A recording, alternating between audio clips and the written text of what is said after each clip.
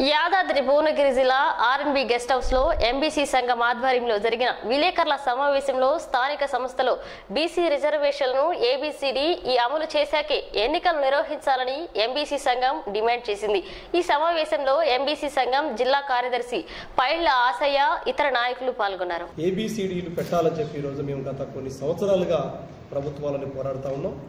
గత ఉమ్మడి ఆంధ్రప్రదేశ్ నుంచి అనేక ప్రభుత్వాలు మారినా కూడా ఏ ప్రభుత్వం కూడా ఈ రాజకీయ రంగంలో ఏబిసిడి చేయడానికి ముందుకు రాకపోవడం ఈ అదేవిధంగా దీన్ని అణచివేయడం అనేటువంటి జరిగింది. మేము ఎందుకోసం అడుగుతున్నాం అంటే రాజ్యాధికారం అనేటువంటి ఏదైతే బాబాసాహెబ్ అంబేద్కర్ రాజ్యాంగం మనకు అందరి ఒకటే ఓటు ఒకటే విలువ అని చెప్పినాడో ఆ యొక్క మాటలు ఆయన ఇచ్చినటువంటి సామాజిక న్యాయం అనేటువంటి అందరికీ సమాన అవకాశాలు ఈ కులాలకే అది అందుతూ ఉన్నాయి. దాదాపు మేము ఈ ముప్పై ఏళ్ళుగా ఈ స్థానిక సంస్థల్లో అమలైనటువంటి రిజర్వేషన్లు పరిశీలిస్తే జెడ్పీటీసీలు దాదాపు ఇప్పటికీ ఎనభై రెండు కులాలు జెడ్పీటీసీలు కాలేదు.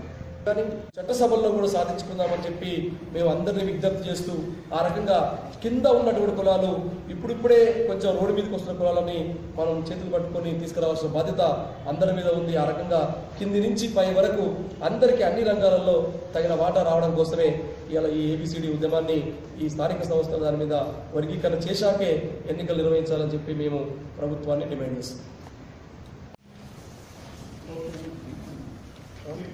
ఇరవై ఆరు ఇరవై ఆరు తెచ్చుకో. ఇరవై ఆరు నాడు అది ప్రభుత్వాన్ని కోరింది.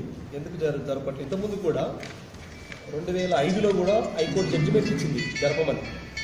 అప్పుడు మా దగ్గర గణాంకాలు లేవని చెప్పి రాజశేఖర రెడ్డి గారు